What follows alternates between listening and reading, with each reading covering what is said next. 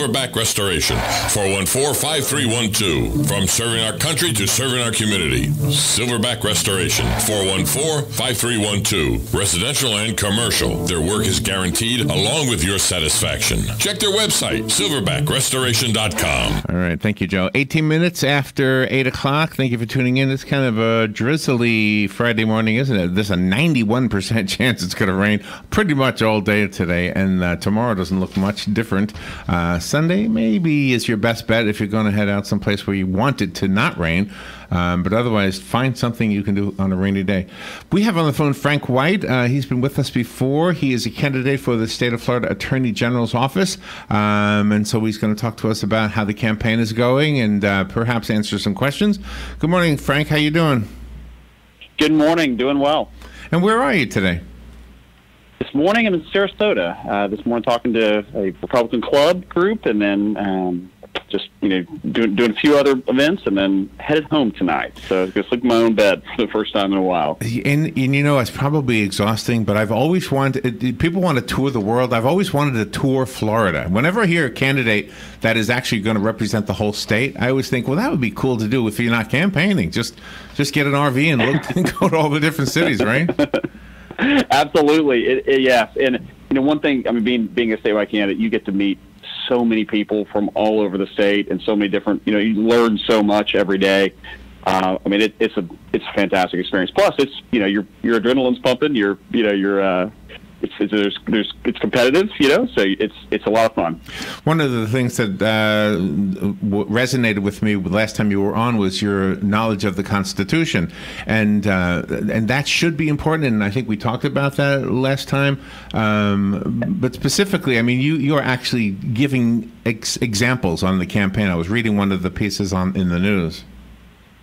Yes, I mean it's I'm, I'm you know, the number one priority of the Attorney General is to defend the Constitution and the rule of law. It's you know our Constitution's under it's under attack, under constant attack, and I, you know for me I'm, that's that's it. I'm I'm going to defend the Constitution. I'm a constitutional conservative. I've got a track record to back it up, and uh, you know, just make sure that every branch of government follows what they're supposed to be doing. Hold I mean, hold the politicians accountable. And and does the uh, the state constitution ever conflict with the U.S. Constitution?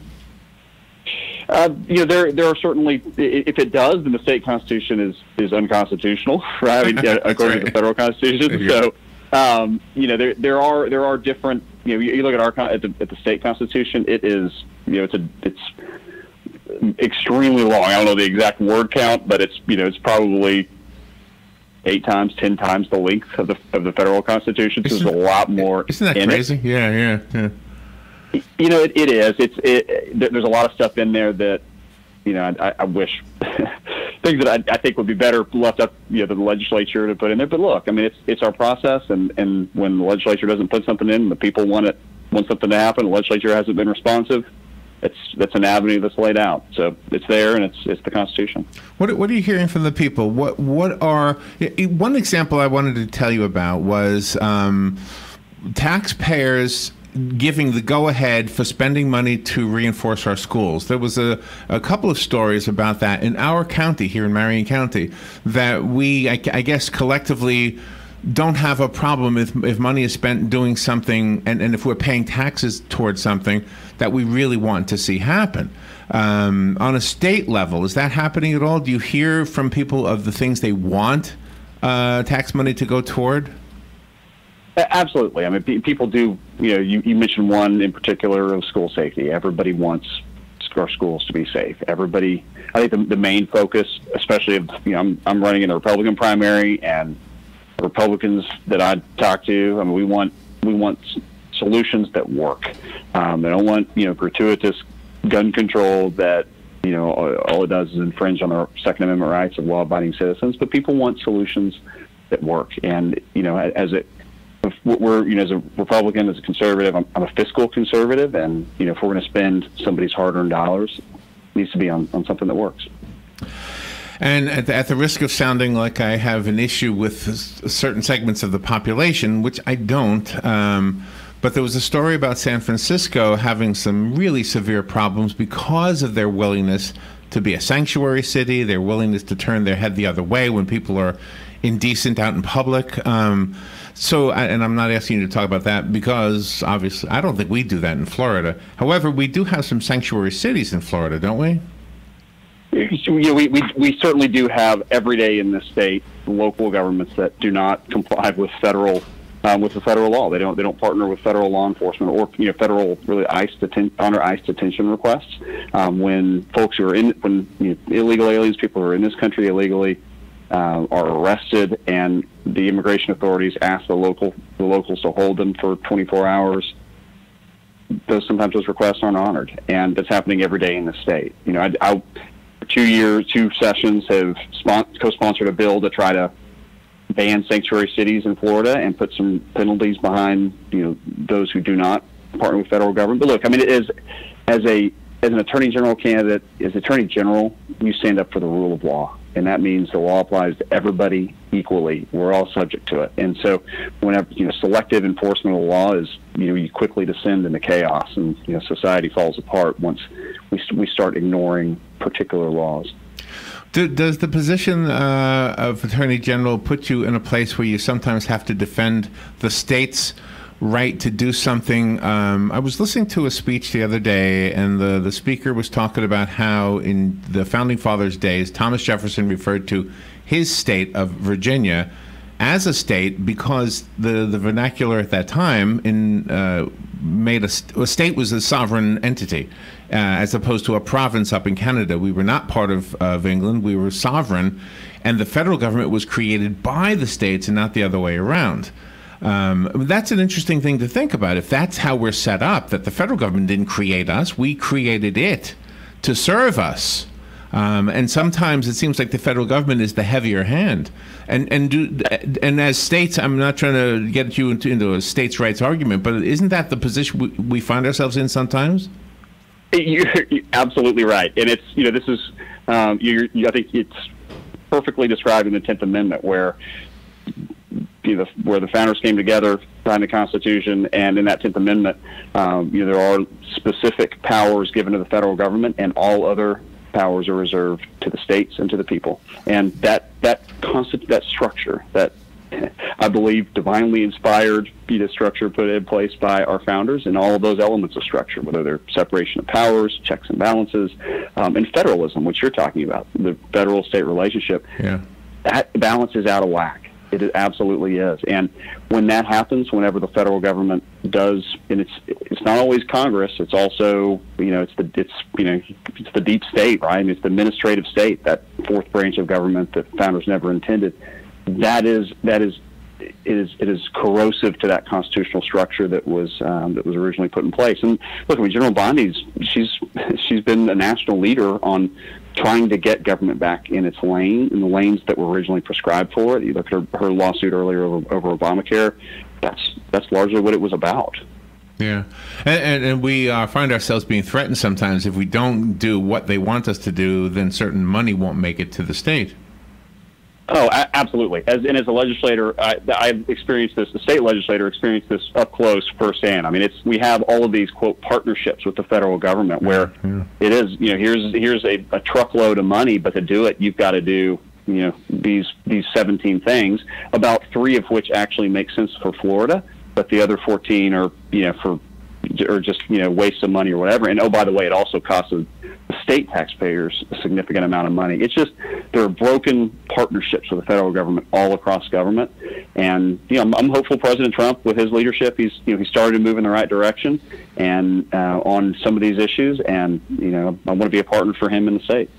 You are um, it's not cheap to do a campaign and you have uh, one of your campaign issues is to to uh, fight against welfare for politicians. There was a story this morning about uh, governor scott putting his own money like 14 million dollars i think it was into his own campaign.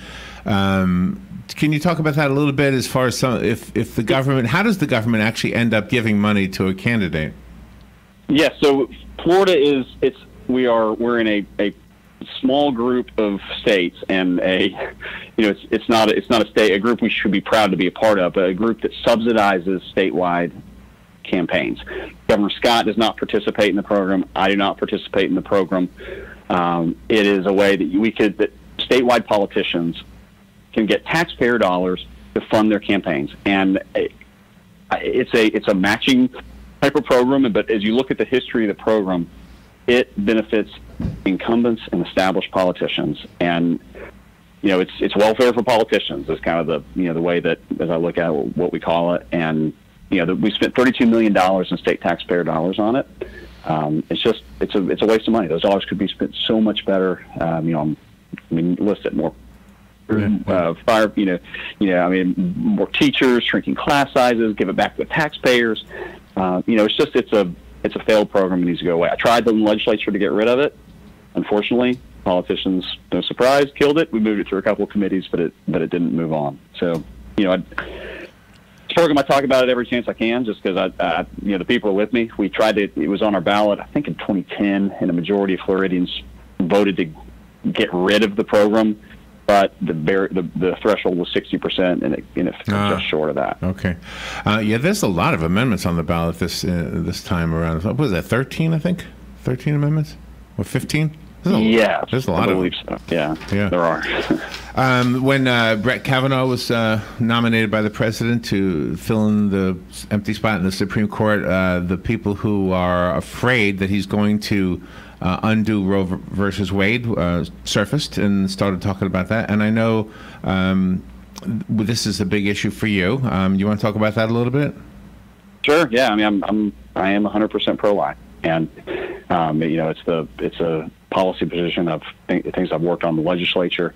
Um, you know, and it's it is a I think also just as a lawyer looking at the reasoning, it's it's faulty legal reasoning, and you know, it's to me it's it's just it's a it's one of the it's one of those things. I'm you know it's who I am. It's, yeah, it's yeah. what I believe, and you know it's it's bad law.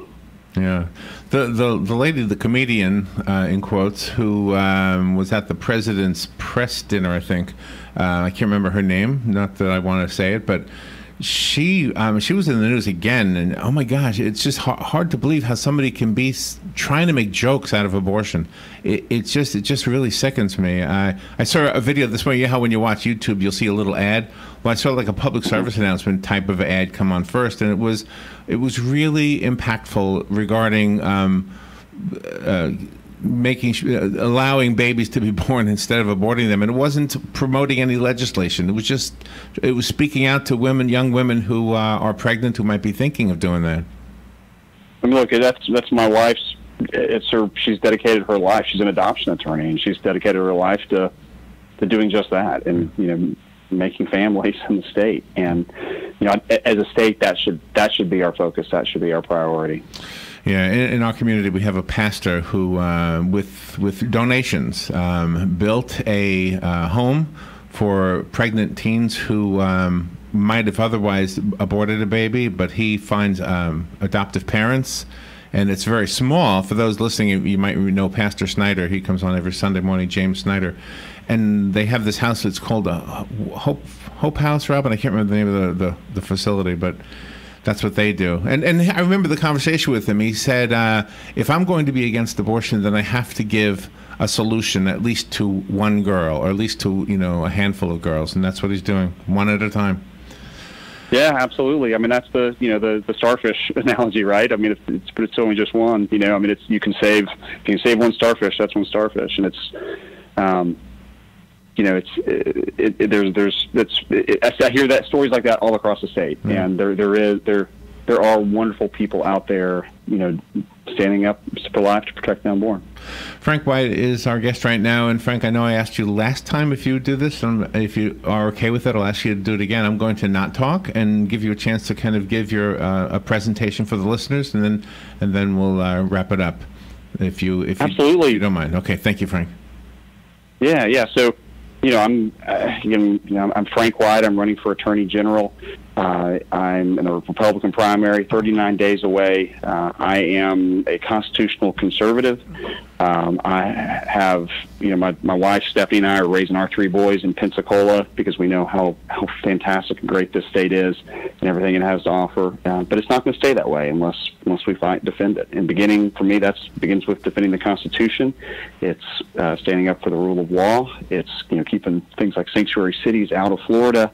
Um, it's protecting our families especially you know seniors from fraud, scam artists, fraudsters. Attorney General can absolutely do that. Uh, you know that that's it. I'm, I'm fighting for healthy communities, a healthy economy, and um, to keep our keep Florida on the right track. So urge everybody go to frankwhite.com, learn more. Um, go ahead and request your mail ballot, or uh, just be sure you go in person to vote. Yeah, absolutely. Yeah. Uh, FrankWhite.com if you didn't hear uh, the, the website. Um, Frank, thank you. One of these days I'm going to ask you if you can comment on cyber currency, but I guess we ran out of time. Thank you for being on the air and uh, have be, be careful. Be safe out there on the campaign trail. Thanks. I appreciate it. All right. We will take a little break. We'll be right back. That stained carpets, dirty tile, or grout? Call Silverback Restoration, 414-5312. Make your flooring look great again. Stains, pet odors, allergies. Call Silverback Restoration, 414-5312. From serving our country to serving our community. Silverback Restoration, 414-5312. Residential and commercial. Their work is guaranteed along with your satisfaction. Check their website, silverbackrestoration.com. Pete Anderson is a candidate for school board